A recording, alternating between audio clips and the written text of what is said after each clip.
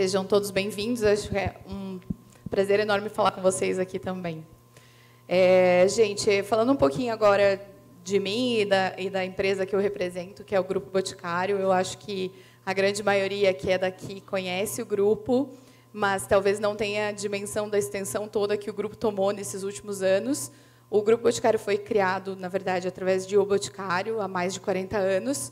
Então, hoje, nós somos mais de 11 mil funcionários, cinco unidades de negócio, e sempre buscando é, o crescimento através da inovação que traga valor e propósito para os nossos consumidores. Hoje nós somos uma empresa multicanal, multimarcas, é, nós temos cinco unidades de negócio espalhadas pelo país e a gente busca, como vocês viram no final do vídeo, a evolução, o crescimento através da evolução. E essa evolução vem muito de inovação e vem muito de inovação aberta. Eu sou consultora de inovação aberta, a gente é uma equipe hoje pequena, de cinco pessoas, mas nós temos mais de cinco anos nessa área. Eu estou há sete anos no grupo, eu estou há três anos dentro de redes de inovação, e redes de inovação é, a nossa, é o nosso NIT, é a nossa agência de inovação. Somos nós que fazemos as conexões externas com as nossas áreas internas, fazendo captações de inovações e de coisas que realmente vão fazer diferença na vida do consumidor ou na vida dos nossos funcionários, para trazer esse crescimento de uma maneira sustentável, porque o crescimento pelo crescimento ele não vale. Então a gente está sempre em busca de parcerias que nos tragam essa inovação com propósito. E aí depois a gente vai poder comentar um pouquinho mais e, e vocês terem um pouco mais de ideias. Mas hoje a gente tem mais de 400 parceiros mapeados, mais de 40 parcerias ativas, e elas vão desde parcerias com universidades até parcerias com os nossos fornecedores, para o co-desenvolvimento de inovações. E vocês também fazem parte disso. As universidades são super importantes para esse ponto. E aí, ao passar do tempo, a gente vai conversar um pouco mais. Agora eu quero chamar a Larissa para falar um pouquinho sobre ela e sobre o iFood. Oi, oi, gente. Boa tarde. Eu sou a Lari. Eu trabalho com Employer Branding para comunidades de tecnologia. Pode ser que por conta disso, na verdade, muita gente talvez não saiba o que é Employer Branding, é marca empregadora. Nada mais é, eu gosto de brincar que eu sou o marketing do RH e o meu papel é vender o iFood como uma empresa legal para se trabalhar, tanto para quem está dentro quanto para quem está fora. Então, eu me preocupo com os, as comunidades de tecnologia, eu sou voltada só para profissionais da área. Tem uma par minha, que é a Amanda, que ela olha para o restante, né, para o que a gente chama de corporativo. E é por isso, vocês podem se perguntar o que isso tem a ver com inovação aberta, é, mas por eu olhar para a comunidade de tecnologia, eu penso como as comunidades tech do iFood podem alavancar comunidades de fora. Então, é assim que a gente trabalha muito inovação aberta lá. Hoje, a gente está em mais de 21 milhões de pedidos por mês, é, mais de 800 cidades que a gente atende, a gente já cobre todas as capitais do país, e são mais de 2.300 funcionários. Se a gente fizesse um recorte de um ano atrás, o iFood estava com mais ou menos 800 funcionários, 3 milhões de pedidos mês, é, e um pouquinho mais do que 300 é, cidades cobertas. Então, em um ano, a gente cresceu muito. E foi só através de inovação e de muito, muito trabalho mesmo que a gente chegou aonde a gente está hoje. E, de fato, está ainda longe de onde a gente quer, de fato, estar e chegar. É, e aí eu contar um pouquinho mais disso para vocês durante o bate-papo. Obrigada. Obrigada, Lari. Agora eu vou pedir para o André contar um pouquinho para a gente da Caterpillar e, e da carreira dele. Oi. Boa tarde, pessoal. Bom, meu nome é André, eu sou engenheiro de desenvolvimento da, da Caterpillar. Nós ficamos aqui em Campo Largo, né, a uns 40 quilômetros daqui. É, você também, que eu sou, sou da casa, tenho muito orgulho de, de comentar isso. Nós ajudamos nossos clientes a construir um mundo melhor. Como falei, a gente está aqui em Campo Largo, né, tem pouco mais de oito anos que criou-se essa unidade aqui. A matriz fica em Piracicaba, hoje temos em torno de 4 mil funcionários lá. E estamos no Brasil há um bom tempo e a Caterpillar tem mais de 90 anos. Então, na sequência, eu vou falar um pouquinho mais com vocês sobre inovação, inovação aberta. Tá bom? Obrigado. Obrigada, André. Agora o Lucas pode contar para a gente um pouco do trabalho dele na Ambev.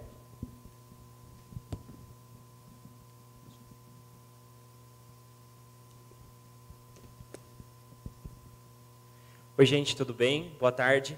Bom, eu sou o Lucas, trabalho na área de inovação da Ambev e eu não trouxe nenhum vídeo para mostrar para vocês, mas falando para vocês um pouco da companhia, vou falar um pouco de cerveja, que eu acho que todo mundo gosta aqui, tecnologia e uma coisa muito importante, diversidade.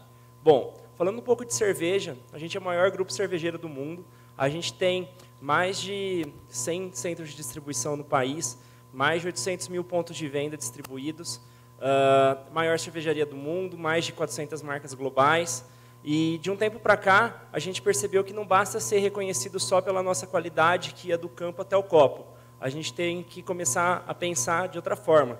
E agora a gente está tá pensando do copo para o futuro. E aí que entra a tecnologia, porque a tecnologia é que vai ajudar a gente a chegar nesse futuro. E a partir disso a gente começou a investir muito em tecnologia, uh, tendo nossos times internos reforçados, Uh, e também estreitando mais nossas, nossa relação com fornecedores e com empresas menores, tipo as startups. Só que o que acontece também? Não adianta só a gente ter relação boa com fornecedores, começar a fazer vários negócios com startups, se a gente não falar de diversidade dentro da companhia. E uma coisa que eu bato muito forte lá dentro é que se você tem um time que as pessoas são iguais, ou seja, que elas têm a, mesma formação, ou formação muito parecida, elas têm a mesma classe social, elas têm a mesma cor de pele, o mesmo tipo de cabelo, você não vai ter ideias diversas. Você vai ter sempre uma ideia num viés, e aí você não vai ter as melhores soluções, você não vai ter as melhores discussões para entregar as melhores soluções. Eu trabalho muito voltado com as soluções para nossas áreas não comerciais, que são o quê? Uh, tudo que não é marketing e vendas, basicamente.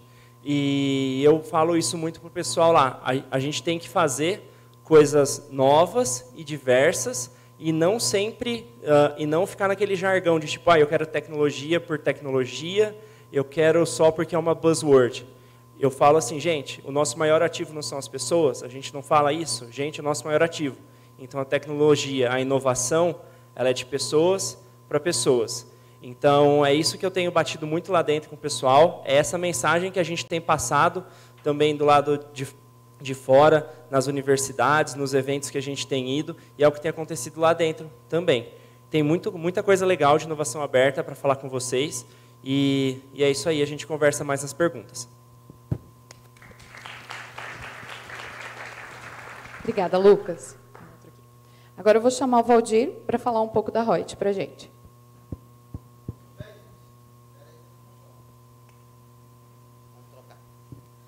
Tudo bem, gente? Boa tarde. É, vou contar um pouquinho da Reut para vocês. Alguns conhecem, outros não. Né?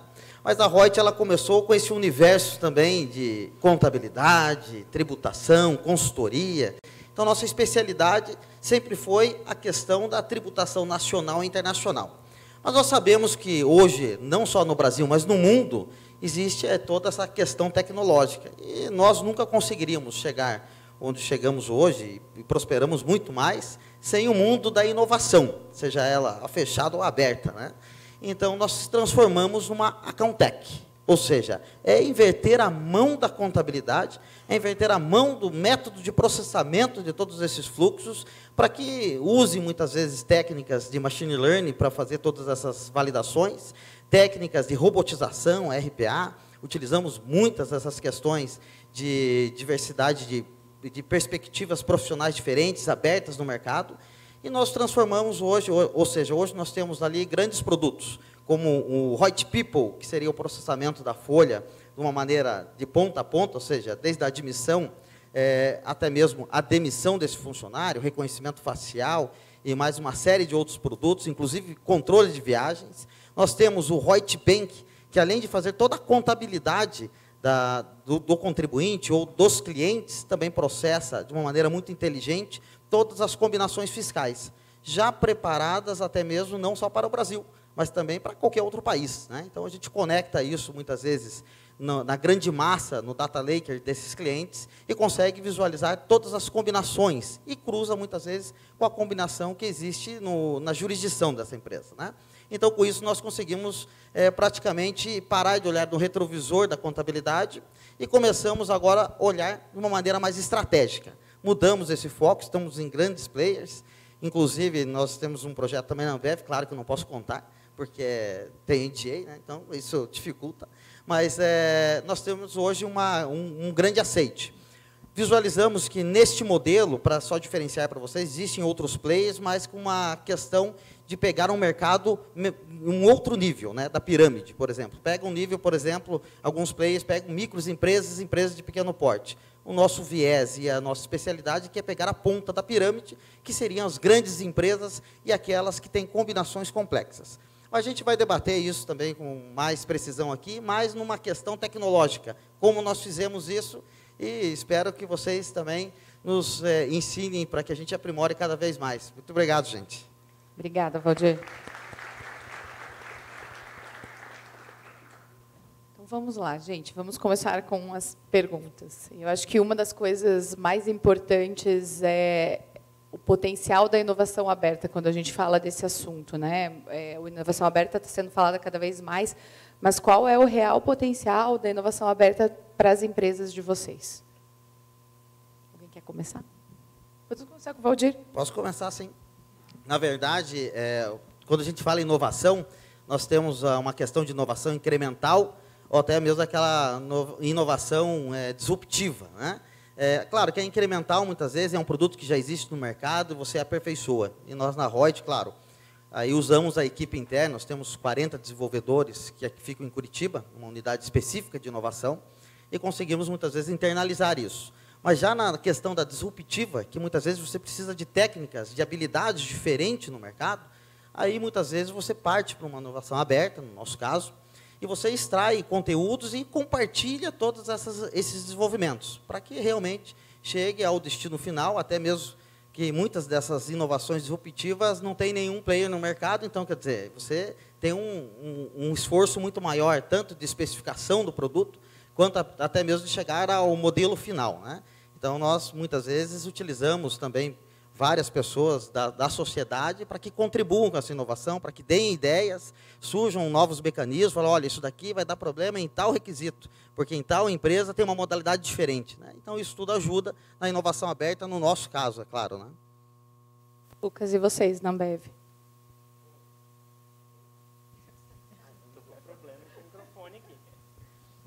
Bom, se o microfone deixar, eu vou falar. Uhum. Bom, lá na companhia, a gente está passando por uma, uma mudança, uma transformação. Porque a companhia sempre foi conhecida por guardar tudo a sete chaves, a esconder tudo embaixo do colchão. E a gente tem mudado esse pensamento ao longo do tempo. Isso vem de encontro com a inovação aberta, né, o Open Innovation, onde a gente uh, abre os nossos, os nossos desafios, os nossos problemas para fora e a gente mostra como a gente está resolvendo isso do lado de fora também. Uh, recentemente, a gente deixou open source um, um, algoritmo interno que a gente desenvolveu uh, ah, para prevenção de acidentes. E ele basicamente pega o histórico numa base e vai ver e vai te falar, olha, a probabilidade de tal pessoa ter um acidente dentro de uma indústria. E aí a gente abriu para que as pessoas consigam usar e adaptar isso à realidade delas. E a gente tem parado muito com uns mindsets que eram errados, né? Que tipo, não, a gente tem que ter as melhores ideias, porque senão a gente vai ficar para trás, ou então a gente tem que lançar tudo na frente, a gente tem que sempre ter as melhores pessoas, a gente tem que fazer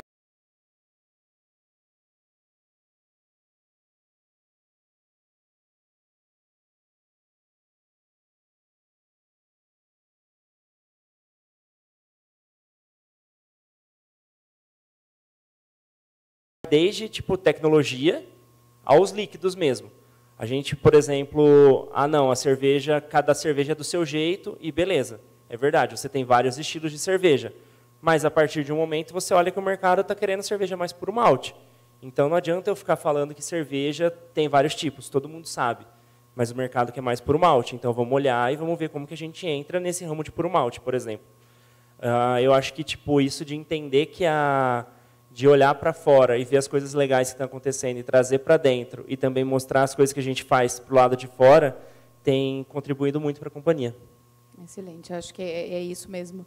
A inovação aberta traz para a gente uma rapidez, né, que muitas vezes em grandes corporações você não tem. E aí você trazer de fora, às vezes é melhor do que você ficar aqui querendo ter a ideia nova é, o novo Apple, a nova Apple, o novo iPhone ou qualquer coisa assim. E vocês na Caterpillar? A gente está tá seguindo essa linha também, então hoje a gente está na fase de transição né, desse mindset antigo para Open Innovation. E no nosso caso específico aqui, né, é, falo bastante na área de manufatura mesmo, na área da, da, nossa fábrica e não tanto do produto final. Hoje ainda nosso produto final, por ser um produto grande, né, um produto de, de grande porte, então o nosso, a nossa gama de cliente é menor, é, mas sim, eles têm um retorno, a gente tem um retorno do cliente, da comunidade, para a gente aprimorar nosso produto, mas trazendo para esse lado de inovação, a gente tem inovado muito é na nossa fábrica mesmo. Né? Então, é muito das ideias de terceiros, de universidade, de colaboradores, de segurança, muitas dessas ideias têm vindo da comunidade, têm vindo desse pessoal para a gente utilizar lá dentro. Então, estamos indo nesse caminho de transição também. Super bom. E vocês, Lari? Acho que eu vou ser o contraponto de tudo isso que Essa foi ideia, né? dito. Né? É a ideia do painel. É, o iFood foi fundado em 2011 e quando a gente entrou no mercado, o mercado de food delivery era basicamente tudo mato.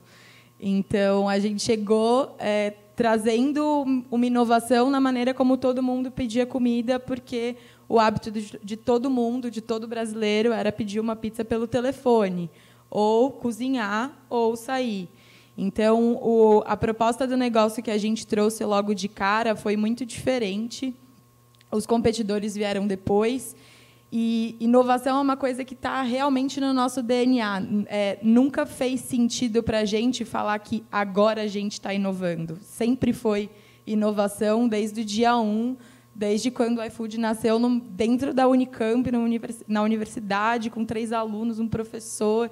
Então, é, para a gente, o, o que hoje que todo mundo fala de inovação aberta, né, trabalhar com open source, é uma coisa que já é mais inata desde o início, mas é uma coisa que a gente também está melhorando muito a, a partir do momento em que a gente está olhando como é que a tecnologia do iFood agora pode alavancar outras comunidades e não ficar só é, mostrando o que a gente está fazendo, como que a gente pode usar a nossa tecnologia para alavancar outros negócios que sejam parte da gente também ou que então melhorem a comunidade de alguma outra forma.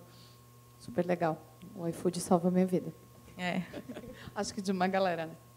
Bom, gente, é, e agora, falando sobre essa questão da gente abrir os nossos desafios para o mercado, como empresas, ou o iFood fazendo o papel oposto, né, trazendo inovações para dentro de outras empresas, existe uma questão muito sensível que é o que, que a gente conta para o mercado que a gente está desenvolvendo, que é a nossa estratégia, e o que, que a gente não conta. Como decidir quais são os desafios tecnológicos que a gente vai abrir para o mercado. Lari, quer começar? Pode ser.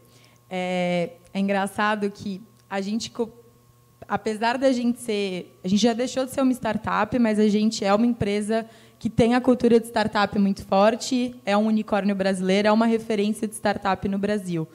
É, apesar de tudo isso, a gente não tem, por exemplo, um IPO aberta como um Uber da vida. Então, é, o Uber é tudo aberto. Você consegue checar todos os dados. A iFood não. E a gente deixa ainda fechado porque a gente sente que a gente precisa trabalhar melhor algumas coisas para poder abrir e, e, bater de frente com. Porque, apesar da gente ser líder na América Latina no, no setor de delivery de comida, da América Latina para o outro lado, quem está ganhando essa corrida é a Uber. Então, na hora que a gente for é, bater de frente num, numa coisa de, nesse cenário, a gente quer estar tá mais preparado.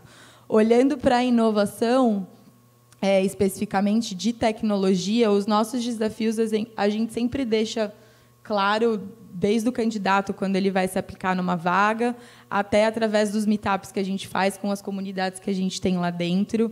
É, era uma coisa que a gente gosta de, de contar são as nossas fuck up nights. Então, tudo que produto já fez e que deu muito ruim. Então, tem gerente de produto um dos primeiros gerentes de produto, primeira vez que eu entrei no iFood, que eu entrei no iFood só teve uma vez, né? Mas primeira, primeira vez que eu fui num evento com uma palestra do iFood, tinha um PM lá e ele estava contando do ano passado, quando eles fizeram um, um pequeno deploy que mudou completamente uma feature do app, ele caiu, e aí foi quando a gente parou e pensou, caceta, hoje, faz... naquela época, né, eles pensaram, nossa, hoje fazer o iFood cair é perder mais ou menos 20 milhões de reais em um dia. E aí a gente falou, não, não dá mais. Então, como é que é, a gente foi percebendo que a inovação é latente para a gente desde o início, mas o, a velocidade em que a gente fazia as coisas precisaram ser um pouco reduzidas para a gente não ter um impacto desses de novo. Então, hoje, o que o iFood faz, e isso é aberto para todo mundo, a gente já chegou ao ponto de dizer que o iFood é um transatlântico e que, para a gente poder rodar alguns projetos, a gente precisa de jet skis. Então, é, é, o jet ski é, uma, é um termo que faz parte da cultura do escritório. A gente tem jet skis infláveis espalhados por todos os nossos escritórios e eles representam os projetos que a gente quer testar alguma coisa nova. Então, eu não sei quem aqui já viu na mídia sobre as entregas de drone que a gente está começando a fazer testes em Campinas, saíram de uma ideia de um jet ski. Então, é, os jet skis são essas representações de projetos que a gente precisa testar, que se der errado, afundou três, quatro pessoas e, e um projeto pequeno. E se der certo, a gente acopla no transatlântico para começar a manobra, porque virar o transatlântico inteiro, o estrago é muito, muito grande. Então, de um ano para cá, esse projeto começou a ficar, se tornou parte da nossa cultura mesmo para falar de inovação. Bem legal. É engraçado ouvir o iFood falar isso, porque dentro do bot a gente fala a mesma coisa. É um, é um transatlântico. Você não consegue implementar uma inovação de uma hora para outra em toda a empresa, ou, por exemplo, num projeto que vai mexer com o Malbec, que hoje é a nossa principal fragrância. Né? Então, vamos testar em um outro produto que tem um volume menor, ou vamos testar em um novo produto, ou vamos criar um squad, que seria o jet ski, para criar isso. Né? Então, acho que é bem bacana ver que o iFood também, apesar de ser uma startup que já não é mais uma startup, é, já também está seguindo por esse caminho. E aí a gente tem que achar meios de cada vez mais driblar isso e não virar o Titanic, né? Então, acho que é isso. Você quer falar um pouco, Lucas? Quero. Uh, é engraçado. Esse negócio de como a gente abre nossos desafios para o mercado, eu acho que a companhia faz isso muito bem com o que são nossas metas globais a gente não esconde de ninguém, seja muito está muito atrelado isso à questão da sustentabilidade, aí vem corona muito junto. Só que quando as pessoas vão entrar, estão se aplicando para uma vaga, igual ela falou, também é muito transparente, sabe? Tipo, olha, o seu desafio vai ser esse, a nossa estratégia é essa, só que ao mesmo tempo não é algo que a gente pega e expõe de uma forma muito muito legal e acho que isso não vai mudar muito. Uh, a gente também, quando se fala de tecnologia, a gente custou aprender que você não coloca uma tecnologia no país inteiro em um mês. Porque era esse o pensamento de antes. Não, a gente é Ambev, a gente é um monstro, a gente tem que fazer no país inteiro. Que, tenho que testar esse aplicativo novo ou essa feature nova no sistema de vendas, todo mundo de uma vez. Aí é beleza, né? É tudo monolito, para de funcionar, deu pau, a gente perde muito quando fica sem, sem o sistema de vendas. E a gente aprendeu, não, vamos escolher pequenos nichos, vamos testar lá, pequeno, rápido, barato. Ah, deu certo, a gente começa a ir para uma região maior, que faça mais sentido e atenda, e depois a gente vai crescendo. Tem sido assim. E falando um pouco da inovação dos líquidos, a gente também tem andado um pouco, tinha, estava andando um pouco devagar, mas agora, tipo, na, numa das nossas marcas principais, que é a escola, a gente tem dado uma acelerada e tem lançado vários, vários produtos. Mas aí isso é culpa da Anitta, não é culpa nossa. Que aí vieram alguns produtos, não sei se vocês viram, mas vai ter Skull Beats em cápsula agora. Então, é isso aí. Super. Valdir ou André, quem quer falar primeiro? Sem briga, meninos. é, no, no, nosso caso, né, como, como a gente trata da, da fábrica, manufatura, né, essa questão de, de abrir ela é um pouquinho mais simples quando não estou falando do produto, né? Por exemplo, eu vou abrir para a universidade uma parceria para a gente desenvolver um dispositivo que eleve o motor. Eu não preciso passar dados do motor. Então, ela fica um pouquinho mais tranquila da gente trabalhar. Bom, no nosso caso é um pouco delicado, né? Alguns conseguem, outros não, fazer esse compartilhamento de informação. Mas quando eu estou falando de fazer a contabilidade ser tecnológica, eu estou compartilhando também dados que são sigilosos. Né? E hoje aí nós temos ainda a LGPD, tem uma série de cuidados. O que nós fazemos é montar os squads para que tratem só as informações necessárias. Por exemplo, nós começamos com um fluxo de, num primeiro momento, de a leitura, fazer a leitura OCR de documentos, de imagens, a categorização desses documentos, ou seja, mas eu não poderia passar toda, o todo o desenvolvimento para esse terceiro. Eu tinha que parte daquilo dali testar em casa, porque eles não poderiam saber o conteúdo daquele documento, ou até mesmo alterar todo o documento, ter informações fictas para que esse teste seria ocorrido, né?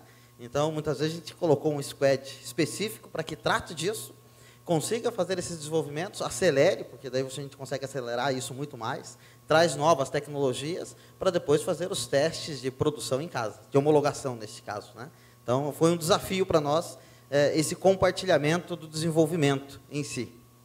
Acho que as grandes empresas têm esse desafio e quando a gente fala, por exemplo, de desafios que vão ser lançados para o público como inovação aberta, até que ponto a gente abre e não conta toda a nossa estratégia a longo prazo, que seja sensível, por exemplo, que um concorrente não possa saber, e até quanto a gente não vai prejudicar esse desafio se eu não abrir. Então, dentro do grupo, a gente tem alguns critérios, quando você olha para é, horizontes de projeto, né, projetos de curto, médio, longo prazo, e projetos que são ligados mais ao nosso core, eu não vou abrir pedindo uma nova tecnologia X que faça alguma coisa que eu sei que, para mim, no futuro, vai ser o meu grande diferencial, porque aí eu dou acesso para o meu concorrente. Mas, por exemplo, a gente fez em 2017, 2018, a gente fez um hackathon de perfumaria, que foi o primeiro hackathon de perfumaria do mundo, e aí a gente abriu alguns desafios. É, a gente pediu para que o público criasse um perfume para o novo jovem, né, para esse, esse público novo que vem vindo aí. A gente pediu para criar um perfume para a mulher do século XXI. E aí a gente fez um terceiro desafio que algumas pessoas dentro do próprio grupo falaram, não, a gente não pode pedir isso que foi, se você fosse um concorrente do Boticário, o que, que você ia fazer para quebrar o Boticário? E aí todo mundo ficou assim, não, como você vai pedir isso, você não pode. Fala, gente, a gente não pode ser a Blockbuster, a gente não pode ser outras empresas que quebraram porque não olharam para o futuro. Se alguém tem que criar um novo negócio que vai nos quebrar, que sejam nós mesmos. Então, é nesse nível que a gente olha, é o nível de confidencialidade, é o nível de estratégia e o quanto a gente pode se beneficiar dessas ideias que vêm de fora para dentro. Então, além disso, gente, falando de, de, toda essa, essa conexão e o que a gente pode trazer de bom de fora, as universidades são um grande celeiro né, de ideias e de projetos e que podem trazer coisas importantes para a gente. Do ponto de vista de vocês, assim, qual a importância da aproximação das empresas com as universidades? Lari, pode começar. É, bom, eu além de olhar para as comunidades de tecnologia, eu também olho muito para as comunidades universitárias, porque é um celeiro mesmo de tech e também de inovação como um todo, de ideias de negócio muito quente. O iFood veio de uma universidade, então o nosso CEO, o Fabrício, ele tem é, um, um carinho muito grande pelo público universitário. É uma coisa que a gente sempre tem teve um olhar é, atento a, essas, a, esses, a esses estudantes. E hoje o iFood ele faz muitas coisas como iFood e muitas coisas também como o Grupo Móvel, né? porque a gente faz parte do Grupo Móvel que tem outras empresas debaixo desse guarda-chuva. Então, Simpla, Play Kids, Wave. Muito, é, a gente teve agora, por exemplo, o Mobile Dream, que foi um processo de recrutamento para estágio e jovens talentos, que foi feito completamente às cegas, para a gente poder trazer mais diversidade para o grupo como um todo. E a gente fez muito, muito, levou muita palestra, trouxe muito, abriu nossas portas de todos os escritórios para receber estudantes, para a gente poder contar um pouco de como é trabalhar no iFood, como é trabalhar no grupo móvel e para as pessoas poderem viver um pouco da nossa cultura é, presenciarem um pouco o escritório. O escritório do iFood, particularmente, é um que faz brilhar os olhos de qualquer pessoa que entra lá dentro, porque ele é muito lindo e muito grande. Então as pessoas ficam meio encantadas, tipo, nossa, eu tô, na, sei lá, no paraíso da comida, uma coisa meio louca. É, então a, a, nossa aproximação com, com universitários hoje, ela está muito conectada com contratação de jovens talentos, mas também a gente, em muitos momentos, a gente leva palestras, a gente abre as nossas portas para eles, para a gente poder contar um pouco dos nossos desafios, de como é trabalhar no iFood de fato, porque a gente entende que mesmo quando não tem uma vaga aberta, a gente já precisa estar tá plantando a sementinha de que o, o iFood é uma empresa legal para se trabalhar desde o início da carreira da pessoa. Então, por exemplo, essa semana eu estava sendo jurada de um hackathon das ETECs do Centro Paula Souza, que é o centro que cuida de todas as ETECs do estado de São Paulo. E a gente foi lá para avaliar todos os projetos que eles apresentaram, foram 10 turmas, voltadas para melhorar o ensino da, é, em sala de aula. Não tem nenhuma conexão direta com o nosso negócio, mas a gente gosta de estar próximo desses jovens que estão sempre pensando em como melhorar alguma coisa, em, em, com vontade, aquele tesão mesmo, brilho no olho, de, de fazer diferente. É, particularmente no iFood, a gente adora ouvir é, de universitário que ele não, o sonho dele não é trabalhar em empresa nenhuma, é fundar a própria empresa. E a gente, a, a gente gosta do desafio de tentar convencer ele de que antes dele abrir a própria empresa, é melhor ele ter uma experiência com a gente. Porque a gente sabe também que se a pessoa tem na cabeça que abrir uma empresa, uma hora ela vai sair, vai voar. É, reter esses jovens hoje é um super desafio. É, e quando a gente está falando do mercado de tecnologia, não precisa ser jovem também, pode ser bem mais velho. Tecnologia é um, um grande, uma grande selva em que a gente disputa pelos profissionais, então a gente precisa estar sempre muito próximos deles e entender onde estão as maiores dores para a gente poder sanar antes que qualquer competidor venha e leve os nossos queridos embora. Super. André, você quer falar um pouco? É, complemento isso aí também, a gente tem está bem próximo né, das universidades e está um pouco ainda no, no, na gente né, ser aluno também. Né? Então, estamos formados, somos profissionais, mas somos alunos. Né? Provavelmente a gente já ou faz pós, ou já fez, ou quer fazer mais uma, quer, quer estudar um curso online. Né? Então, também somos alunos e, e, e sentimos um pouquinho ainda a dificuldade desses alunos em ir para para a indústria, para a empresa, é, e a gente tenta buscar isso aí, sabe?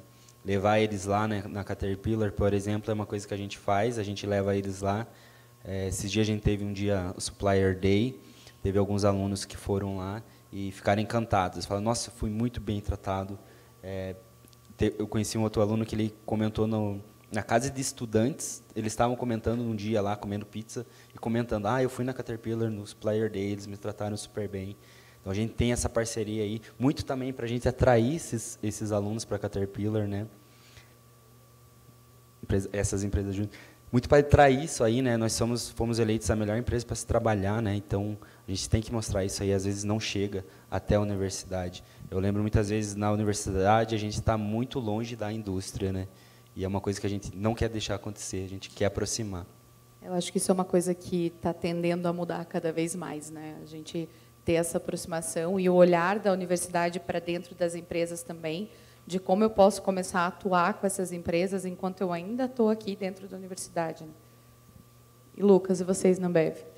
Bom, de uns três anos para cá, a nossa imagem era, ela era antes muito ruim dentro das universidades. As pessoas não queriam vir trabalhar na Ambev porque a Ambev era conhecida como um ambiente hostil, um ambiente com muita competitividade, um ambiente onde a gente pegava, dizem as histórias, porque eu não estou na Ambev há tanto tempo assim, estou lá há um ano e meio só, que eles colocavam as coisas em ranqueamento para ver quem estava batendo mais metas e tudo mais, e isso fez com que a, a universidade e a academia se distanciassem da gente.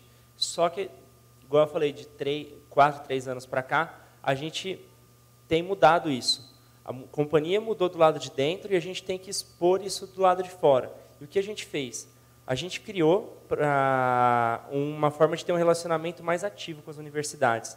A gente tem uma, uma agremiação dentro da nossa companhia que chama Liga dos Estagiários. É como se fosse uma empresa júnior mesmo, onde em cada centro de distribuição, centro de engenharia, cervejaria, centro de excelência, que é nosso administrativo, uh, onde tem os estagiários, tem a liga deles. E qual que é a missão deles? É muito simples.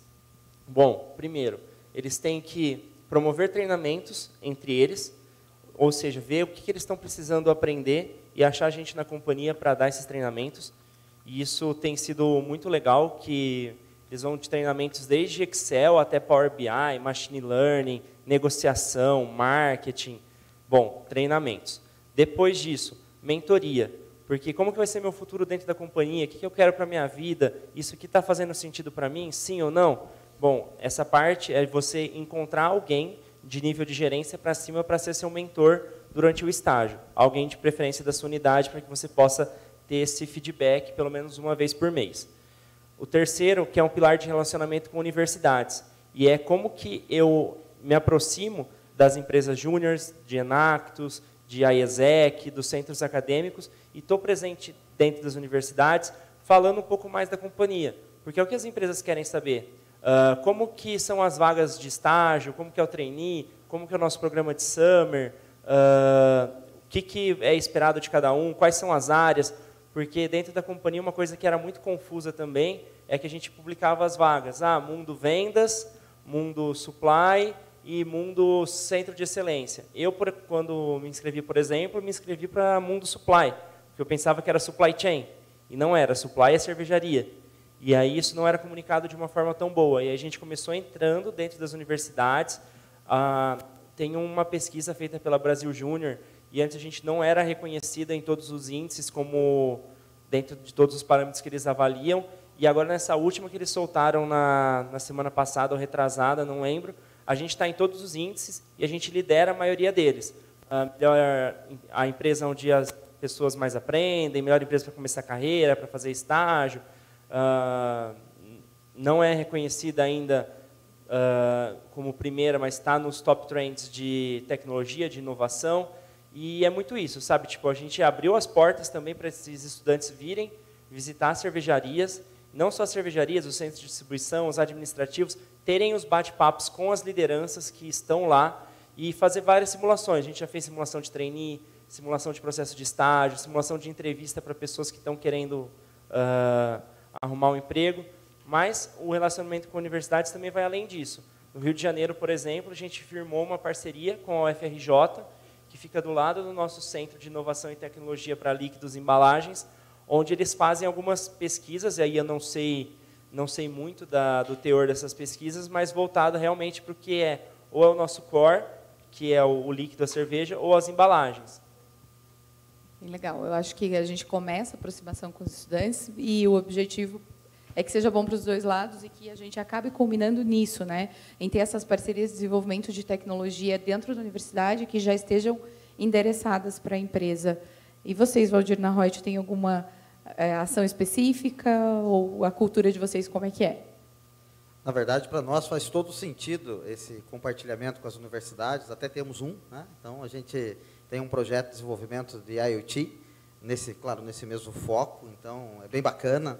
E isso aí traz também novidades e atualizações. As pessoas, os acadêmicos também vêm até a empresa e conseguem compartilhar com os, com os técnicos de área, com os desenvolvedores, trocam ideias, fortalece, né?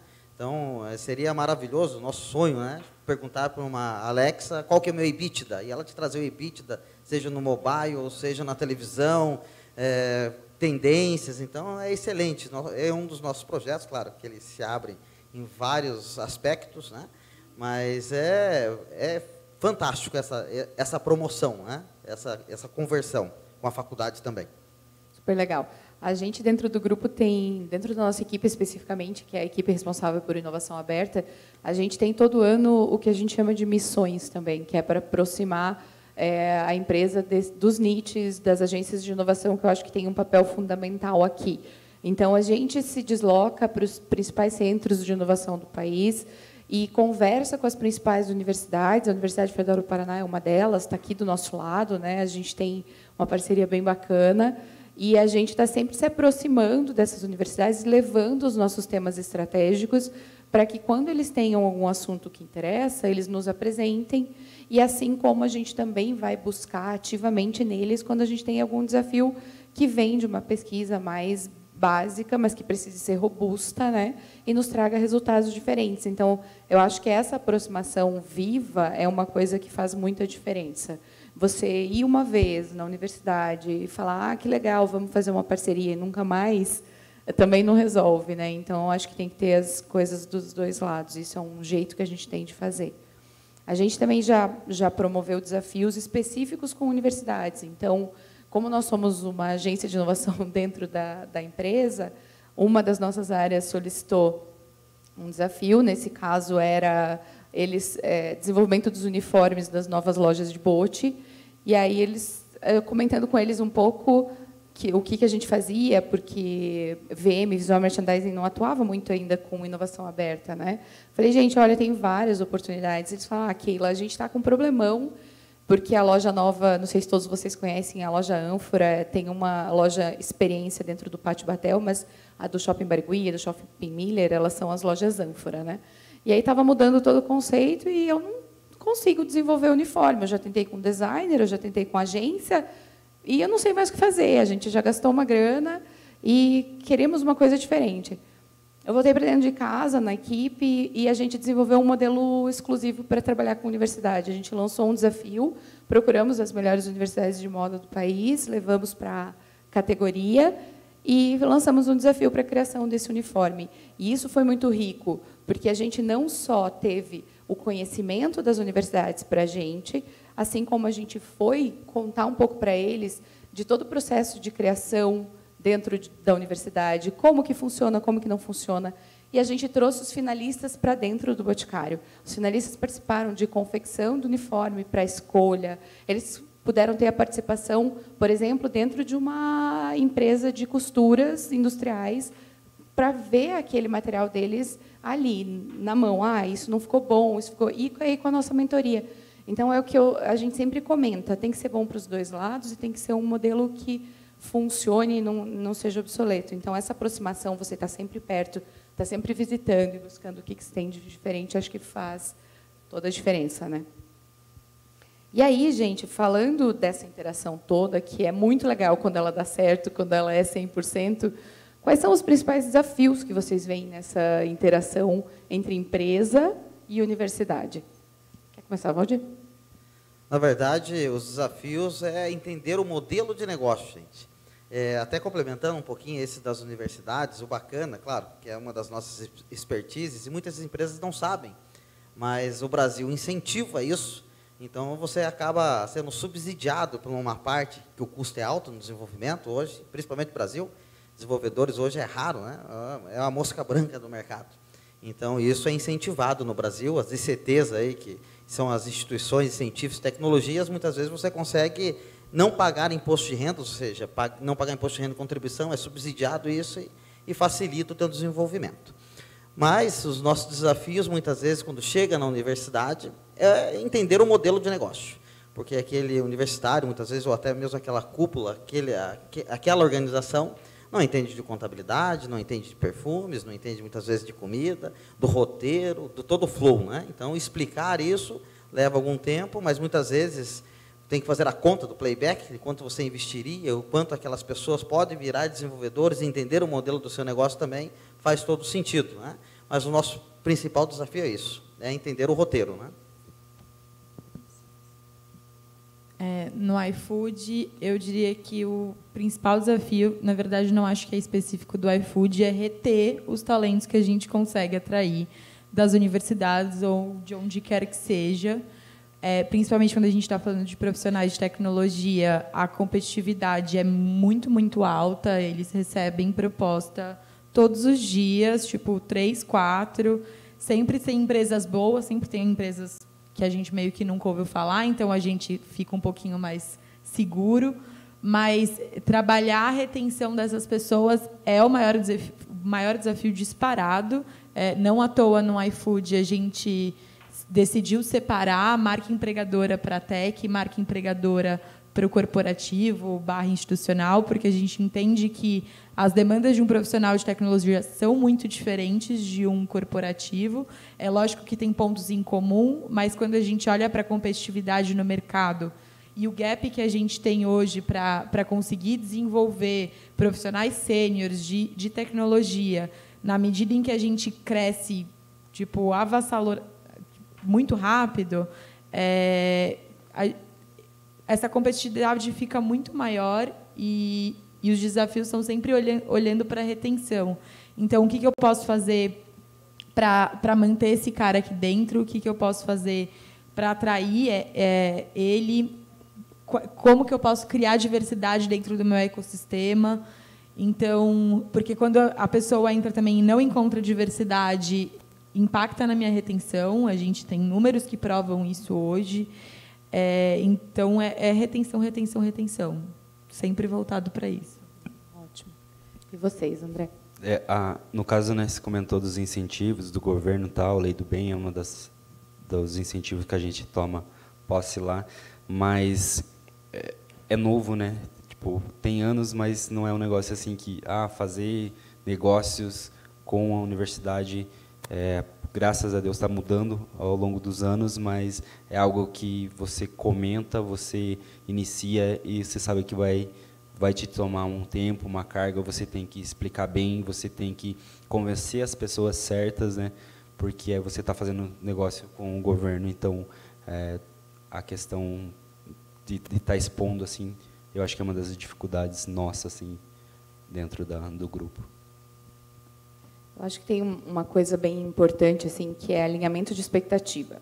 Quando você está criando, co-criando uma coisa, co-desenvolvendo uma inovação, entre uma universidade e uma empresa, você tem que ter um alinhamento de expectativas muito claro.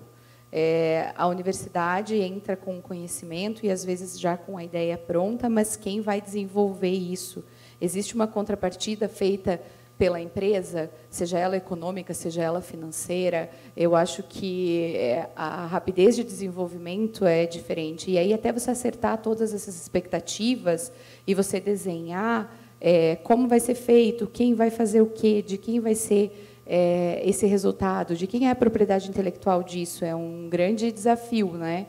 Então, existem algumas universidades que têm modelos pré-estabelecidos, por exemplo, quando a gente fala de co-desenvolvimento, de PI. E aí é difícil porque às vezes não bate com a expectativa da empresa. Então, como você negocia isso? Eu acho que você deixando essas coisas claras, fica um pouco mais fácil quando você fala de desenvolvimento, vou trabalhar né, com a universidade, com o governo. Eu acho que se você tem um acordo pré-estabelecido, bem discutido, as coisas fluem um pouco mais é, tranquilas. Mas até você chegar nesse, nesse acordo, às vezes demora um pouquinho. Como é que é a experiência de vocês lá na Ambev, Lucas? É os dois pontos. É retenção, porque a gente não é uma empresa startup, a gente é uma empresa já um pouco mais antiga. Então as pessoas vêm para cá, tipo, aprendem alguns com alguns conhecimentos com a gente e depois saem para o mercado. Para ir para, sei lá, para o próprio iFood. Eu tenho uma uma ex-companheira de time que foi para a Wave, mas tudo bem. Uh, e essa parte e também como que a gente faz com que as pessoas, beleza, eu quero ser empreendedor. Igual você falou, em algum momento eles vão sair, eles vão empreender. Mas tem muita oportunidade de empreender dentro da Ambev também. A gente tem várias iniciativas. E eh, o nosso maior desafio é mostrar para essas pessoas, para elas, né, que você consegue ficar aqui, você consegue empreender, você consegue... Uma coisa que eu gosto muito lá, que as pessoas que estão lá, sei lá, há 18 anos, 20 anos comentam, é que elas já mudaram de emprego várias vezes e ainda estão dentro da mesma empresa. Uh, porque você pode estar em diversos lugares fazendo coisas que não tem nada a ver uma com a outra, mas ainda está dentro da Ambev. E quando você fala de esse relacionamento com a universidade, em forma de pesquisa realmente, é uma coisa que a gente ainda não aprendeu lá dentro. A gente estava fazendo uma reunião, há uns dois meses atrás, com, com um pesquisador, para um projeto que era de nosso interesse desenvolver, pesquisar, e toda hora, o cara que a gente chama da área do negócio ficava, não, mas qual que é o cronograma? Não, vem cá, preciso fazer, ó. Quando que a gente começa? Quando que a gente tem essa entrega? Quando que tem isso? E eu vou lançar no verão, né? disse, não, calma, isso é pesquisa, você não está entendendo. Tipo, não acontece de um dia para a noite. Aí o cara olhou para mim assim, mas você está do lado dele? Eu falei assim, não, não é que eu estou do lado dele, é que eu quero que a coisa realmente aconteça, e eu não quero dar um prazo, não quero começar para o cara falar assim, ó, você começa hoje e sai correndo. Tem que ter tempo para isso. E a hora que o cara falou para ele, o pesquisador, olha, vocês vão investir tanto e pode ser que não dê certo, aí ele ficou louco da vida. Aí ele falou assim, não, a gente precisa avaliar bem, porque não tem cronograma, não tem garantia que vai dar certo, eu não vou ter reunião toda semana. Aí a gente viu e falou assim, não, é melhor a gente pegar, conversar com essa pessoa, sozinho, sem ser na frente do pesquisador, meio que dar uma, uma segurada nele. E é isso, sabe? A gente, como companhia, a gente ainda está aprendendo, sabe? Porque, por mais que ainda a gente, ainda mais quando você está falando muito lá dentro ainda de metodologia ágil, o pessoal quer fazer, quer fazer, se bobear, quer fazer dele com o pesquisador. E aí não, não rola. Então a gente ainda está aprendendo muito, a gente vê com esse, que, que esse relacionamento em ter uma parceria com a universidade, com o pesquisador é muito rico e é uma coisa a longo prazo. Isso tem ficado muito claro uh, e tem rodado muito bem em Blumenau, onde a gente tem um fornecedor de mais de 20 anos, que é a HBCIS, e a gente fez uma, um processo de M&A com eles, e eles estão atuando muito como nossa área de pesquisa agora. Então, nada que eu vou chegar para eles, nada que eles vão tocar, falando do time de inovação, não é nada daquilo que é para aquele ano. É um time que pensa de três anos para frente. Então, é uma forma diferente que a gente está começando com os times de inovação e a gente quer estender isso para a academia, mas ainda está engatinhando. Isso é um grande desafio mesmo, né, nas empresas, especialmente nas grandes corporações, que agora a palavra da moda é metodologia ágil, né? Então tudo tem que ser muito rápido, tem que tem que tudo ter resultado para ontem, mas a gente tem que saber estabelecer como empresa times que vão trabalhar em cada uma dessas frentes, né? Dentro do grupo a gente tem uma área específica de pesquisa, que é a área que olha mais a longo prazo, projetos acima de dois anos, até cinco anos, depende do projeto. E aí, com esse time, a gente consegue conversar muito bem sobre a atuação entre universidade e indústria. Então, são pesquisas, a gente sim sabe que pode dar errado, tem todos os meios de fazer com que isso não dê, mas claro que isso pode dar errado. Se a gente quer investir em inovações mais disruptivas, inovações que vão trazer diferença realmente, a gente tem que assumir risco. Senão, você não, não vai conseguir. E aí a gente traz a universidade para junto da gente para nos trazer a expertise que muitas vezes a gente não tem em um determinado conhecimento específico e deixa claro lá dentro quais são as expectativas e onde a gente vai chegar. E que isso sim tem risco, não pode não dar certo. Quando a gente vai para a unidade de negócio, é isso. Quando vai? Então, muitas vezes a gente segura o projeto dentro de pesquisa e só mostra para a unidade quando a pesquisa está na fase final.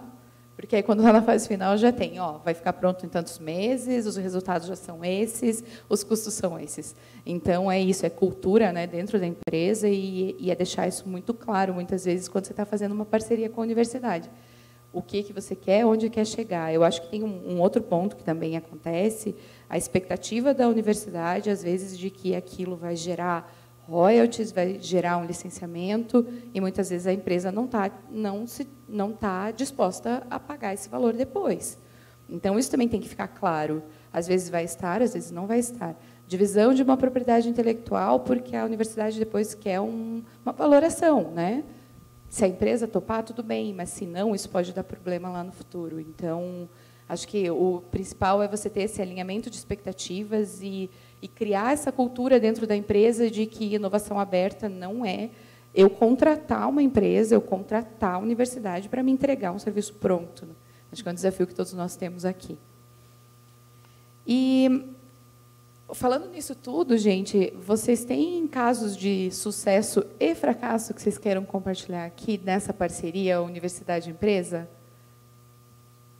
Alguém quer começar? Eu posso começar. Se vocês quiserem, eu posso dar.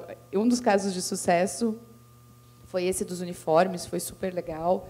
Para as universidades foi muito bom, a gente deu um prêmio bem bacana. A gente não é sempre tá, que a gente consegue esses prêmios bem bacanas, mas nesse caso é, a gente conseguiu dar um curso de moda em Milão para o vencedor do desafio, então foi super, super legal. É, a gente tem outro caso de sucesso é, de um desenvolvimento de uma ferramenta que a gente precisava de um sistema rápido para dentro da, da indústria, que foi feito com a PUC. A gente teve uma parceria super legal, foi rápido o desenvolvimento, foi muito mais rápido do que se a gente tivesse é, tido que deslocar um time para colocar isso. E tem outro caso super bacana que é com a própria UFPR. A gente conseguiu, com o apoio da Agência de Inovação, celebrar um contrato é, de desenvolvimento de soluções inovadoras que consegue abranger é, e nos deixar um pouco mais é, rápidos numa tomada de decisão no caso de um projeto específico, porque a gente já tem um contrato pré-estabelecido quando se fala de desenvolvimento de inovações em parceria. Então, esse foi um, um case super bacana, a gente conseguiu fechar, e agora, daqui para frente, eu, eu acredito que quando a gente for falar de algum projeto específico, isso facilite bastante, porque esse também é um ponto que acaba demorando muito. Antes, no painel anterior, é, a Checkmob comentou, ah, a gente foi fazer um projeto e o NJ demorou um ano. A Laís trabalha comigo, está aqui. Eu falei, é, é, qualquer semelhança é mera coincidência. Assim. Às vezes demora mesmo. Às vezes o jurídico da universidade não aceita. Às vezes uma coisa que acontece muito é o pesquisador, ele quer muito fazer, ele aceita, ele topa, a agência aceita, quando vai para alçadas superiores, não aceita. E aí a gente fica naquela discussão eterna e, e não chega numa conclusão. Então, esse acordo a gente acredita que vai facilitar muito. Nós temos um caso aqui também, né, com a, com a universidade aqui, que é com a empresa Júnior de Mecânica, né, a Coen, e também foi um caso muito bem sucedido. A gente propôs o desafio para eles de de aprender e, e depois nos ensinar a utilizar uma ferramenta de simulação, uma ferramenta que a gente já tinha um ativo lá e precisava dar do tempo, precisava do desenvolvimento deles para aprender, para criar simulações e depois eles passaram esse, esse conhecimento para a gente. Então hoje eles estão, acho que completaram já um ano lá dentro. Vários alunos passaram pra, por lá. Três deles estão trabalhando lá dentro agora, são estagiários lá. E é um caso bem, bem sucedido nosso. Lari tem.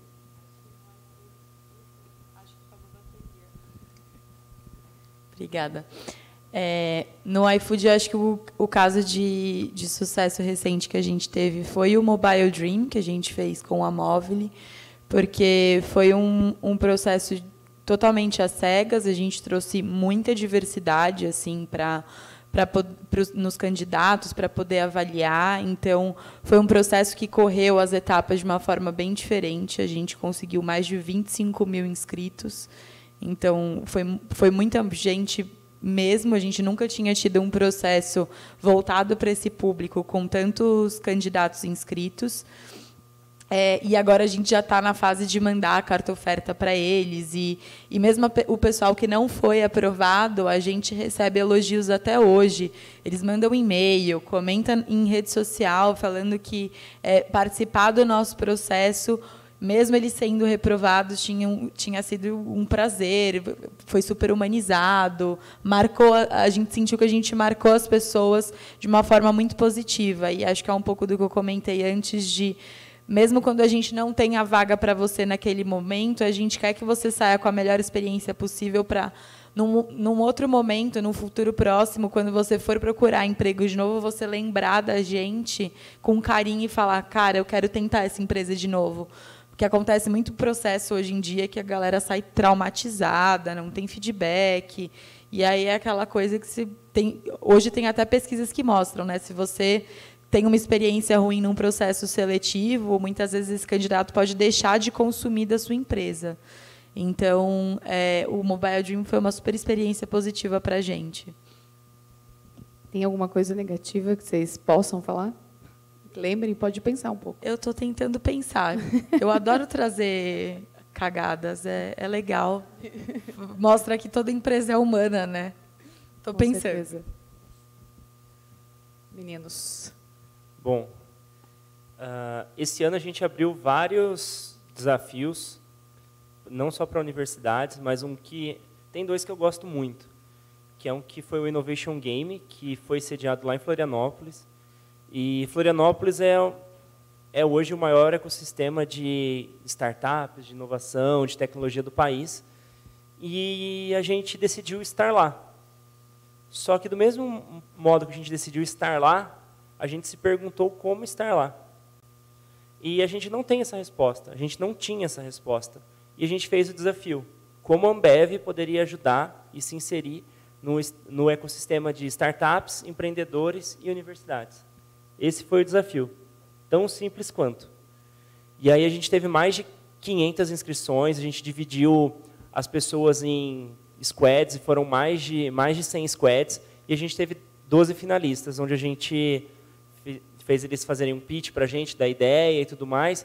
E o que eu achei bem legal foi que as pessoas optaram pelos grupos serem remotos. Então você podia você podia se inscrever com seu grupo de amiguinhos, podia, mas você também podia ter a experiência de trabalhar com pessoas que estavam em qualquer lugar do país. E aí tinha gente que estava no Recife, com gente que estava em São Paulo, gente que estava lá em Floripa, com um cara que estava lá em Manaus. E foi super legal isso, porque a gente foi separando. A gente fez um dia de abertura, onde teve uma, uma live, criou um canal no Slack para criar uma comunidade realmente. Uh, e aí eu acho que é um, um, essa comunidade é uma coisa que não deu certo, porque depois que passou uh, o desafio, as pessoas pararam de interagir com o conteúdo lá, e a nossa ideia era criar uma comunidade que as pessoas trocassem conteúdo sobre tecnologia inovação, e acabou meio que morrendo então isso é um fracasso. Mas o, o mais legal foi que a gente conseguiu trazer uh, ações para ver realmente como a gente poderia estar tá dentro. E a gente está trabalhando nisso. Uh, a gente conseguiu premiar também o grupo vencedor, participaram do Startup Summit, que foi lá em Floripa também, todo mundo ganhou ingresso. E um outro que para mim é, é sensacional, que foi o desafio da Corona, o Plastic Free Challenge, onde a Corona abriu em parceria com a gente lá do time de inovação um, um portal de ideias para as pessoas também de todo o país poderem enviar ideias para reduzir o plástico de uso único. E a gente também teve muitas inscrições, acho que foram porque entre se inscrever e você receber o acesso para o portal tinha um gapzinho. E aí a gente acabou recebendo 150 ideias e a gente selecionou seis porque teve muita ideia boa, só que a nosso foco era plástico. E aí teve ideias para energia eólica, energia fotovoltaica, e a gente acabou meio que olhando para elas de uma outra forma, mas não classificando como finalistas. E aí a gente teve seis finalistas. Desses seis finalistas a gente não sabia, mas duas ideias eram internas da companhia, uma delas de um estagiário, que só na simples pura aplicação dela a gente já vai economizar 10 milhões de dólares por ano, de dólares não de reais, por ano, e foi super legal isso a ideia que ganhou, a gente deu 20 mil reais para a pessoa tirar a ideia do papel e todos os finalistas entraram na nossa aceleradora global de sustentabilidade. E a gente fez uma projeção né, de que essas seis ideias, se elas saírem realmente do papel e derem certo, a gente vai deixar de poluir em 230 mil toneladas uh, as praias brasileiras durante um ano. Então, tipo, é um, é um baita caso. Mas é onde eu falei, essas ideias têm que sair do papel e que é esse o maior desafio, mas que tudo está dentro da aceleradora e a perspectiva é que saia mesmo. Legal. E vocês, Valdir? Na verdade, nosso caso de sucesso é o Reut Bank, né? Eu vou explicar um pouquinho por que do Bank, mas é, além de contabilizar e fazer as regras fiscais, a gente é uma IP, uma instituição de pagamentos também. Né? Então, é, eu finalizo a conciliação contábil praticamente das empresas porque ela vai gerir os pagamentos, seja nas contas correntes por vans, em bancos distintos, ou até mesmo na nossa conta corrente. Né? Então, isso daí é um caso de sucesso, conseguiu ter uma boa aderência no mercado, estamos fazendo alguns testes também, temos uma unidade também em Vale do Silício, fazer alguns testes também em esses outros ambientes, é, mais também na característica do robô fiscal, totalmente microserviço, praticamente, nós desenvolvemos, que nessas grandes empresas, quando você fala da esteira, que nós chamamos de esteira completa, isso, né? Elas falam, não quero mudar o meu RP. A gente não substitui RP de ninguém.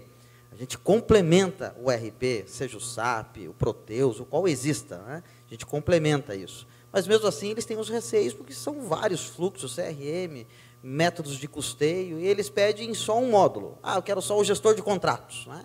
Então, é o caso de sucesso de fazer toda a gestão, validação, classificação, que tipo de contratos, prazos, vinculações com documentos, seja boletos, notas fiscais, começa com o gestor de contratos.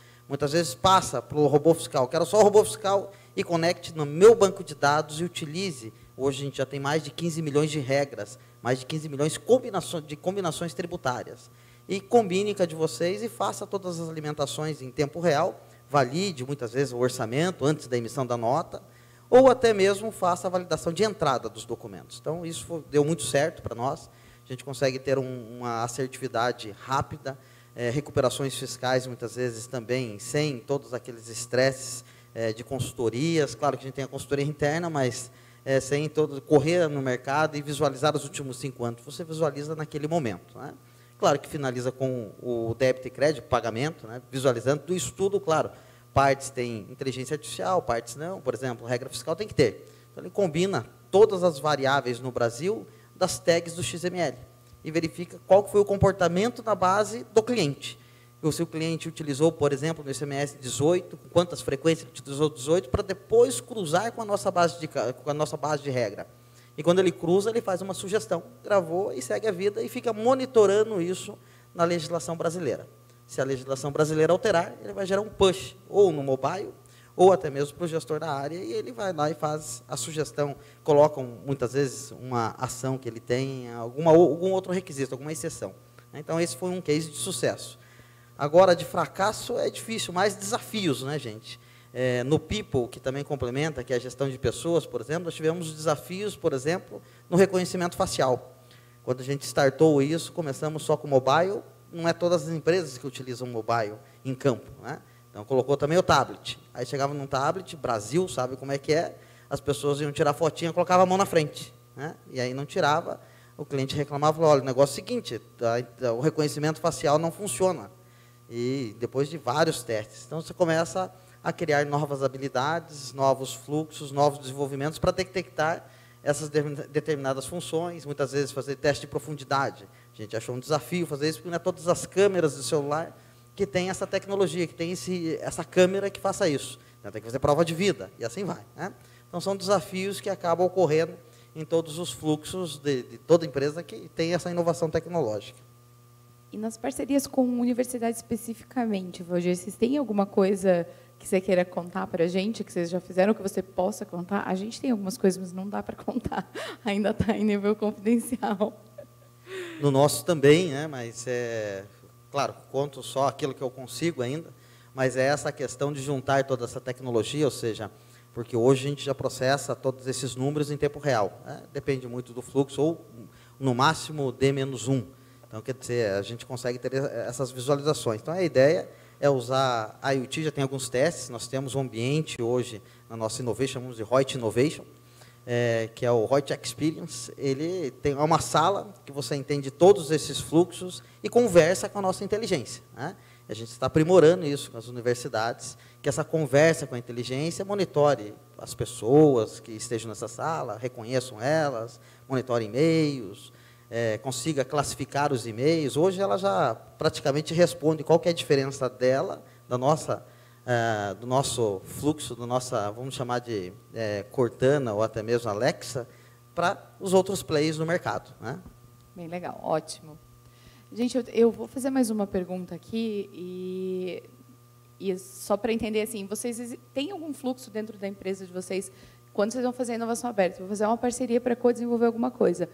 Quando eu vou para a universidade, quando eu vou para a startup, quando eu vou para o fornecedor, vocês têm essa diferenciação ou não? Olha, está sendo, tá sendo não. Foi uma luta fazer a companhia entender que a startup é diferente de um fornecedor, porque eu tenho prazos de pagamentos diferentes para fornecedores e eu não posso pagar o fornecedor no mesmo prazo que eu pago uma startup, porque às vezes o cara depende daquilo para tocar a próxima semana dele. Então a gente abriu fluxos diferentes onde eu consigo pagar de forma mais rápida aquela, aquela startup. E para fazer isso, a gente viu que não era só tipo ah, um fluxo de pagamento, porque para você pagar, você precisa de muitas coisas antes. Você precisa que o cara esteja cadastrado. E aí você ia ver nosso Nosso questionário de cadastro de novo fornecedor tinha só 90 perguntas e demorava apenas 20 dias. Então, isso quase não acontece em nenhuma empresa, só na Ambev. É só na Ambev. Uh, e aí a gente reviu tudo isso, chegamos em 32 perguntas e hoje, assim, no máximo uma semana, graças a Deus, está saindo já. Ótimo. E isso é, tipo, beleza, você tem ele cadastrado. E aí a gente viu que não necessariamente você precisa fazer um, todo, toda a compra com o fornecedor precisa ter um contrato. Você pode fazer algumas coisas que são mais spot, porque quando a gente está falando de startup, a gente está indo muito naquele mood que a gente está fazendo rápido, pequeno e barato, e naquele em um nicho específico, ou seja, a gente está fazendo uma prova de conceito, então vai ser um spot e a gente deixa bem claro para eles, ó, a gente está fazendo uma prova de conceito, um piloto, se der certo o que a gente está fazendo, aí a gente vai fazer um contrato e fazendo esse contrato você vai receber todo mês no dia tal e aí a gente já alinha a expectativa. Então, esse relacionamento com, com as startups mudou bastante. Tem, às vezes eu vou conversar com um cara de startup que ele fala, não, não quero fazer negócio com vocês porque vocês já demoraram tanto tempo para me pagar. Aí eu falo assim, não, calma, que mudou, agora o fluxo é diferente, assim, assim, assim. A gente tem, tem uma mentalidade nova. Quanto à universidade, eu sei da parceria, que nem eu falei, que tem lá no Rio de Janeiro, só que eu não sei como isso funciona. Uh, e para os nossos fornecedores de tecnologia, segue a mesma linha. Se é um fornecedor novo, eu quero testar algo, mesmo com fornecedores grandes, o que eu acho legal que a companhia tem feito é adotar esse mindset de fazer as coisas pequenas. Então, primeiro faz um teste, faz um piloto com aquele fornecedor, e aí depois, ah, deu certo, a gente faz contrato. Uh, isso é até bom para a gente, porque a gente não fica com aquele elefante branco na mão. Faz um contrato de um, dois anos, e depois vê que aquilo realmente não fazia tanto sentido assim. Sim, é uma pergunta do Paulo César. É, fora a questão burocrática, a burocracia das universidades, quais seriam as barreiras que tanto a indústria quanto a universidade necessita ser, é, necessitam ser rompidas né, para que a colaboração torne-se efetiva? É, eu gostaria também de responder essa pergunta pela universidade, tá? É, porque às vezes a gente acha que a burocracia está só do nosso lado para quem já teve a oportunidade de formalizar projetos, principalmente com grandes empresas, sabe que a burocracia também existe do outro lado.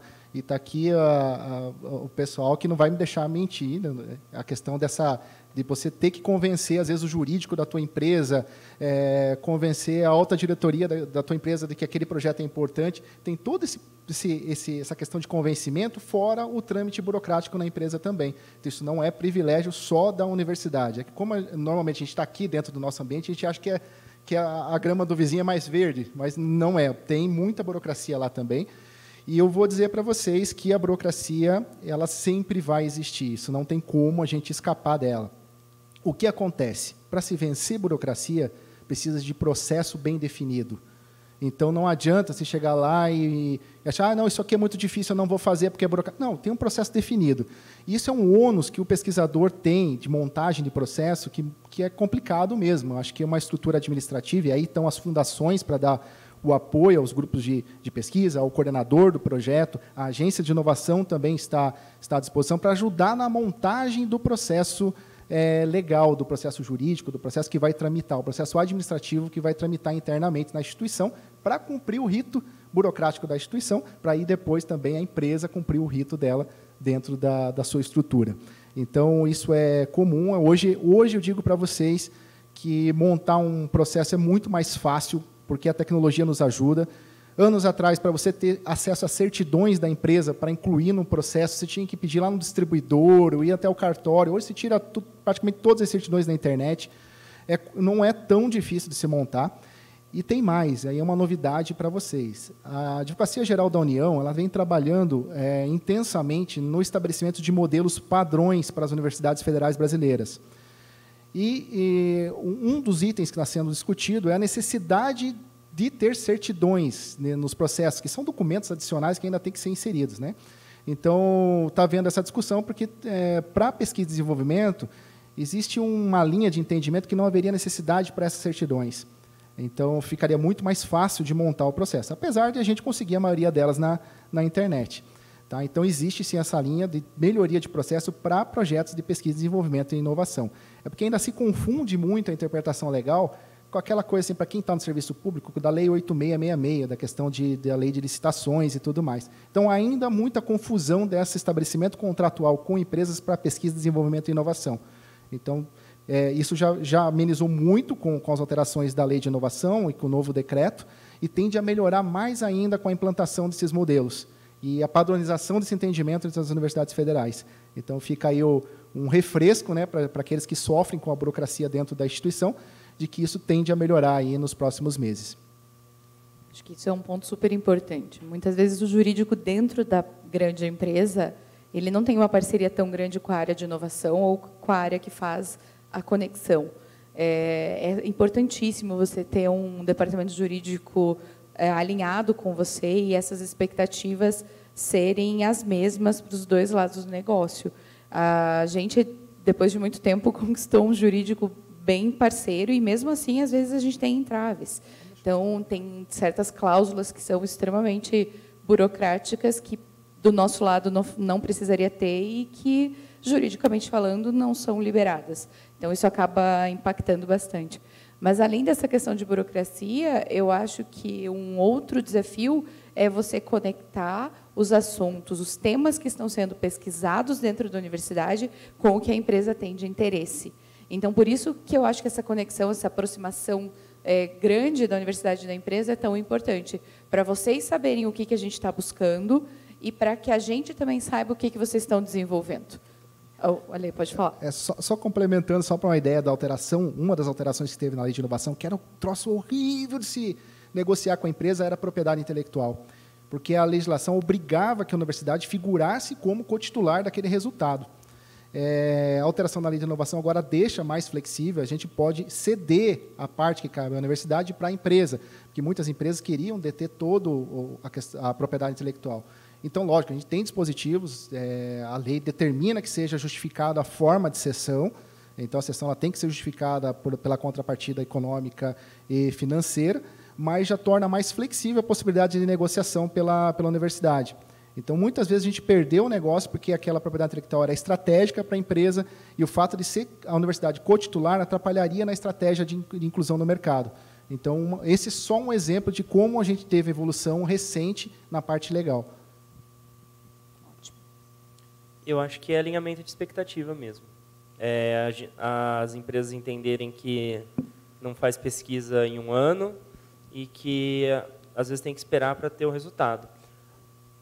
Uma coisa que eu vivenciei uh, quando, quando eu estava fazendo intercâmbio, eu não sei se, se acontece aqui dentro uh, do país, mas na minha universidade não acontecia e nas universidades dos meus amigos também não, não aconteciam, era uma coisa que vai muito de encontro com o que você falou agora, é de como as empresas sabem o que está rolando de pesquisa dentro da universidade.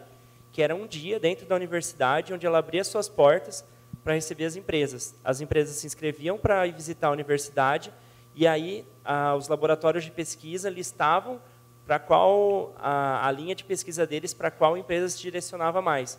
E aí os representantes das empresas passavam no laboratório e tinham uma apresentação do que era o laboratório, do quais eram os projetos que estavam sendo desenvolvidos. E eu sei disso porque eu tive que apresentar o meu projeto que eu estava fazendo para outra empresa. Então, eu acho que não sei qual se é fácil ou difícil fazer isso, mas é algo que eu achei super legal e eu não vejo aqui dentro. É super legal. Algumas universidades fazem. A Federal de Minas Gerais, por exemplo, já, já sinalizou. E a gente acaba tendo um trabalho um pouco maior com algumas outras, porque nós temos que ir atrás, né? Então, ir, conhecer, entender. E algumas têm portais com todas as patentes, todas as tecnologias disponíveis, mas às vezes é tanta coisa que você vai pesquisar, é, é, coisa demais, assim. Então, acho que esse é um exemplo super bacana de ter um dia né, de conexão entre a universidade e a empresa. É, a gente vai ter, pode ser certeza, a gente vai ter. Inclusive, até já adianto aí para aqueles que são da, da, da universidade, a Agência de Inovação vem trabalhando em parceria com a Renault e a empresa Campestrini na criação do primeiro ambiente de inovação ali no Centro Politécnico, onde devem acontecer essas interações. Então, para quem, quem conhece bem o Centro Politécnico, fica ali no centro de convivências, perto do Correio, das cantinas. São dois espaços que vão ser unificados. A gente teve apoio, inclusive, aí do setor de tecnologia, de algumas associações de alunos, para poder estar tá criando e dando vida para esse espaço. Tá? Então, a gente deve ter aí no próximo ano é, adianta até a época de inauguração, vai ser no começo de dezembro. Ótimo, excelente. Vamos. Tem mais uma, Ali? Opa, vamos lá. É, vamos pegar a pergunta da Lari Ferrante. É, Keila, é para você. O, os eventos de hackathon são abertos ao público? É, depende do evento. Alguns eventos que a gente participa é, como apoiadores, como foi o caso do hackathon da NASA, sim, são abertos ao público.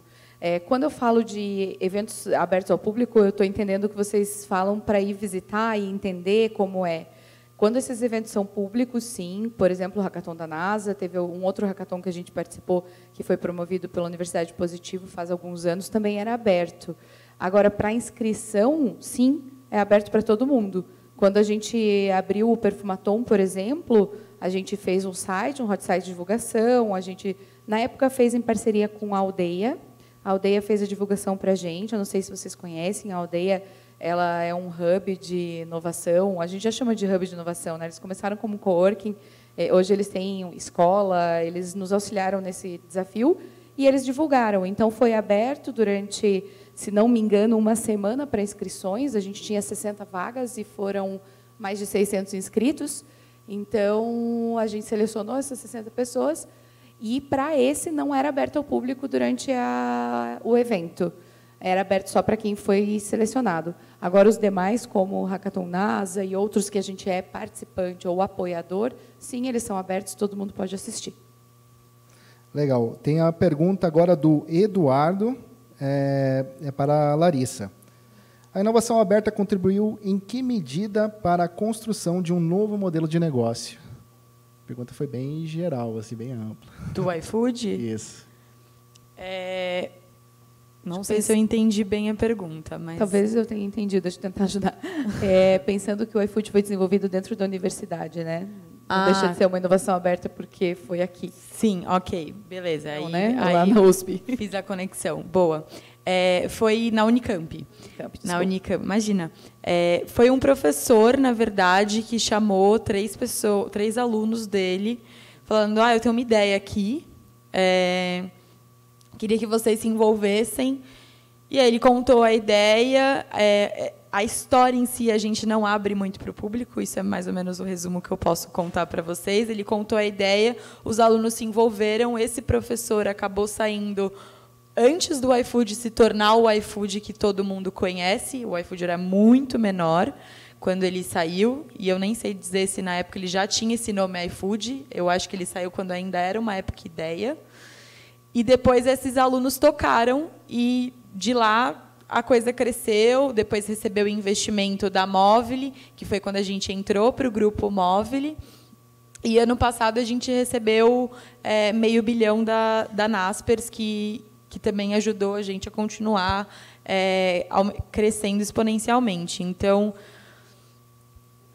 o que, que eu diria? Não, é, o iFood, para comparar com uma outra empresa que nasceu dessa forma, assim, dentro de universidade, não foi, é, não dá para, não sei dizer nenhuma empresa brasileira que tenha feito isso, mas eu gosto de, de dizer e aí com eu Larissa assim meio sem crachá mesmo o que eu o que eu vejo o que eu interpreto de todo esse cenário foram alunos inconformados é, tiveram alguma ideia legal que quisera eu ter uma ideia da hora dessa e ficar rica depois.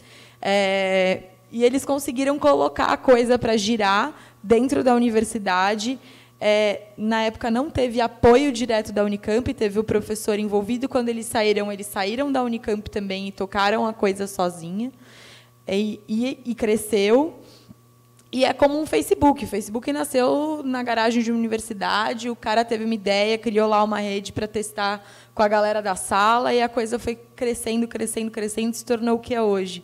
Então, eu não acho que foi uma inovação, eu não diria, ouso dizer que não foi uma inovação aberta, porque só envolveu essas pessoas inicialmente. E depois que a coisa cresceu. Tem razão. E só uma curiosidade, é, os três alunos ainda fazem parte do iFood ou eles venderam? Não, eles já, já saíram. O último saiu, se não me engano, foi no começo desse ano ou final do ano passado. Um deles é o, o, o fundador da Dog Hero também. Legal, super. Oi, temos mais uma. O programa de inovação Futurice do MEC vai facilitar essa interação, é, integração entre empresas e universidades. Como é que vocês entendem isso? E como as empresas estão vendo esse programa? Olha, acho que eu vou pedir tua ajuda Tá, nessa. é. Então a pergunta chegou de bate pronto aqui. Ah, o governo federal ele tá tentando, vai tentar um modelo novo, né, para as universidades. Aí vai ser um modelo por adesão. Inicialmente se pensou em na nessa gestão das universidades feitas por uma OS. Agora já há um debate aí, incluindo as fundações. Ah, aí vou, vou- vou- vou entrar na discussão também, tá? É, Perfeito. Dentro do meu conhecimento dos processos internos da universidade, eu, particularmente, sou contrário à, à- à inclusão, porque eh, hoje tudo que está sendo previsto no futuro, e se a universidade ela pode executar sim, o que precisa ser feito é ter a figura do elemento executor, que, se for eh, direcionado a uma fundação de apoio, tirar as limitações que, que a fundação de apoio tem atualmente, eu acho que a coisa funciona. Lógico, precisa ter muita vontade, muito engajamento, acerto de processos. De novo, opinião particular, Ali Moraes. Processos são que é a grande resposta para a burocracia, para a morosidade. Processos bem definidos, processos claros internamente. Então, basicamente é isso. Não sei se vocês conhecem, se não, não conhecem, tranquilo para opinar, eu posso partir para outra pergunta. Ah, e agora uma pergunta geral, então, para todo mundo, tá? É uma pergunta impactante e eu acho que, pelo tempo que a gente tem, deve ser a última pergunta, infelizmente. A inovação aberta já é predominante nos novos projetos da empresa? Essa pergunta é bem importante. É, hoje, dentro do grupo, a gente tem um percentual bom de projetos com- feitos com inovação aberta, mas ainda não é predominante. A maioria dos nossos projetos hoje, quando eu falo de empresa como um todo, ainda é fechado. Quando eu olho apenas para a área de pesquisa, que foi o que eu comentei com vocês, que são ah, os projetos mais a, a- o curto prazo é o mínimo de dois anos, curto, médio e longo prazo, a gente tem um percentual bem importante de inovação aberta. Eu ouso dizer que a gente tem pelo menos 50% dos projetos em inovação aberta nessa área de pesquisa. Agora, quando eu falo do de todos os projetos, não, ainda não. É, a gente tem essa cultura sendo implementada cada vez com mais força, né? E eu acredito que é, o futuro de, de desenvolvimento de inovação é com inovação aberta. É, acho muito difícil alguém conseguir fazer uma inovação disruptiva e impactante sozinho. Então, como o Lucas falou, não dá para achar que nós, como empresas, temos todo o conhecimento e sozinhos a gente vai fazer tudo e dominar o mundo. Então, acredito que daqui para frente esse percentual aumente cada vez mais e esse é um dos motivos também da gente estar aqui para estar cada vez mais fomentando o ecossistema de inovação e trazendo os parceiros, principalmente as universidades, cada vez mais para perto da gente. É, no iFood eu também acho que a gente está num cenário bem parecido com o Bot. A gente tem muita inovação aberta, é, tanto quando a gente está falando num- numa questão mais técnica de desen- desenvolver em GitHub, é, como também a, a parte de hackathon. A gente tá, tá de um ano para cá a gente começou a fazer bastante, principalmente o nosso time de marketing fez vários recentes assim envolvendo universita uni- universitários e, e gente interessada no tema assim. A gente nunca é, pelo menos que eu saiba de histórico a gente nunca fez um hackathon específico só para universitário. A gente sempre deixou muito aberto para público. também. é, e, e é uma coisa que tende a crescer, mas ao mesmo tempo é, acho que vai ser orgânico, porque o iFood já é um ambiente de muita inovação, é, já é um ambiente muito jovem, já é um ambiente com muito universitário. Então, é uma coisa que a gente pode não estar conectado, às vezes, tão diretamente com o fora, mas a gente tem muito aluno lá dentro que está sempre trazendo coisa nova e que, de uma forma ou de outra, a gente consegue fazer uma troca rica também. Perfeito. É, a gente também está tá longe ainda de ser predominante. Na verdade, a gente ainda está na transição, mas é, eu creio que, que, que ao longo de num, num período de curto tempo aí a gente vai estar avançando bastante nisso aí. Bom, igual você, eu acho que a gente está num momento de transição e isso vai muito em mudar a cabeça das pessoas que estão lá dentro. Igual eu falei, aqueles pensamentos que a gente tinha de muito comum, a gente tem que deixar de ter e estar tá aberto às coisas que estão do lado de fora. Dá para falar que tem alguns projetos, mas a imensa maioria ainda não.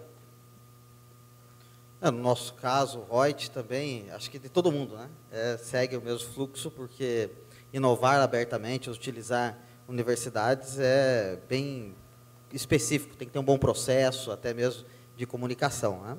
Então, é, mesmo que o nosso mindset seja de desenvolver aquilo que não existe, pois aquilo que já existe é mais fácil utilizar, está no mercado, agiliza, a gente não perde tempo, mas ainda não estamos acelerados assim em inovação aberta, embora existir um projeto, mas estamos desenvolvendo bem isso, esse modelo de negócio. Eu acho que é isso. É, processos são super importantes e a gente está bem estabelecido com os processos dentro do grupo para trabalhar com inovação aberta. E o futuro é isso, é trazer cada vez mais Gente, eu queria agradecer demais vocês, é, guerreiros até o fim. Espero que vocês tenham gostado. É, a, gente fica disponível caso precisem de mais alguma coisa. Vocês têm os nossos nomes, é só nos procurar nas redes sociais, especialmente LinkedIn, que tem o nome completo. E agradecer vocês, foi super importante, acho que foi muito rico. Obrigada. Obrigada. Obrigada, gente. Para mim, Ale, foi uma honra participar e agradeço vocês pela oportunidade. Acho que a gente tem que promover cada vez mais esse tipo de evento. Então, parabéns à agência pela organização. A gente que agradece, uh, agradece em nome da Agência de Inovação e da Clark Modê, organizadores do evento. Tá? É foi um prazer enorme aí ter todos vocês hoje.